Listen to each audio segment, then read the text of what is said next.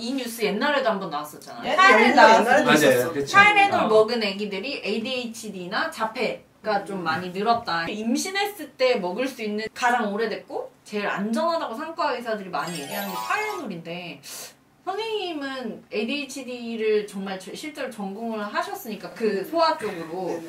그게 그렇게 연관성이 높을까? 제가 아동병원에 있으니까 사실은 그런 뉴스들이 한 번씩 터질 때마다 난리 나요. 엄청난 이제 그 논문을 찾아봤는데 논문이 되게 저명한 데 실린다는 게 다양한 의미가 있지만 음. 주목할 만하다. 새로운 시선이다. 혹은 이 연구 방법이 좋다. 시대의 흐름과 맞다. 그래서 이 연구가 되게 좀 유명한 그 논문 저널 또 존스 홉킨스에서 했더라고요. 음. 그래서 이제 제가 찾아보니까 이제 996명의 산모와 아이를 대상으로 추적 관찰을 한 음. 거예요. 그래서 출산 시때 피, 어, tet줄에서 피를 뽑아가지고 음. 거기에 있는 아세토아미노펜의 음. 농도를. 어, 농도를 네. 측정하고 몇 년 후에 그 아이들이 실제로 뭐 어떤 발달 장애가 음. 있는지 ADHD가 있는지를 확인을 했더라고요. 음. 근데 논문에 보면은 항상 맨 마지막에 음. limitation 있잖아요. 그렇죠. 어, 우리 이 논문은 이게 좀 부족하다. 음. 그거를 이제 써내죠. 첫 번째가 그게 아세토아미노펜의 그 반감기가 3시간 정도. 음. 출산 시에 측정한 그게 임신 전기간 타이레놀 음. 어느 정도 어, 먹었는지를 알수 반영을 없다. 할 수가 없다. 또 중요한 것 중에 하나는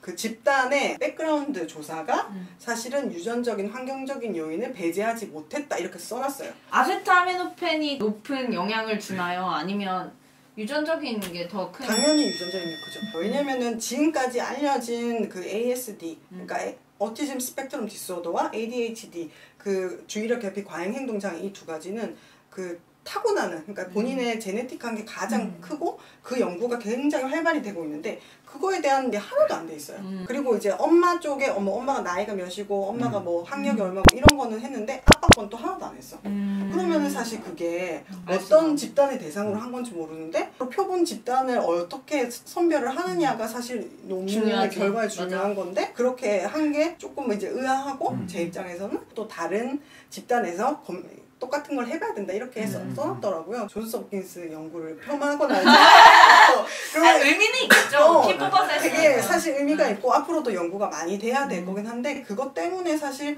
아 내가 타이레놀 먹어서 우리가 이런가? 음, 맞아. 지금 엄마들이 안 그래도 지금 길티에. 시달리는데 타이레놀 먹어도 임신 10달 내내 먹는 게 아니잖아요. 그러니까. 정말 머리 아플 때 산모들은 약 하나 맞아. 먹는 거 그러니까. 하나에 다 신경 어, 쓰는데 그리고 먹어야 될 때가 있어요. 임신 중에 열 떨어뜨릴 만한 약은 타이레놀 말고는 없거든요. 그 임신 중에 사실 열이 나서 그것 때문에 어떤 brain damage 오는 훨씬 확률이 많이 높잖아요. 생기죠. 어. 훨씬. 차라리 빨리 그 체온을 낮춰줘서 맞아요. 차라리 아기한테 안 가는 게 저는 좋다고 그렇죠. 생각해요. 그래서 저희가 임신 중에 뭐 탕목욕이나 음. 온천 같은 거 하지 말라고 어. 하는 게 중심 체온을 올려서 그런 건데 헤드라인만 딱 타이레놀 먹은 아이들 아 먹은 엄마의 엄마들에서 아이들. 태어난 애들 어. ADHD 어. 이렇게 되면 산모들이 타이레놀 ADHD 위험 높여 이렇게 그렇지 그러면은 어, 또 그러니까. 타이레놀 안 먹어서 생기는 부작용은 누가 책임질 거야? 그러니까 NSAID, 이부프로펜 그런 걸 먹으면 아기한테 딱 안 좋을 수 있으니까 그렇죠. 그거 명확하게 안 네, 너무 네. 그렇지. 너무요 너무 어. 두통이 심하거나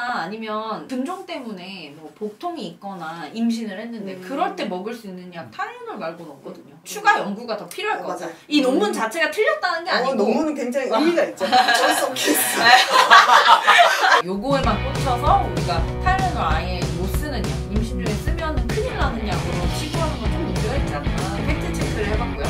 다음에도 저희가 기사에 핫한 것들이 있으면 다음에도 팩트 체크 한번 해보도록 하겠습니다. 감사합니다, 선생님.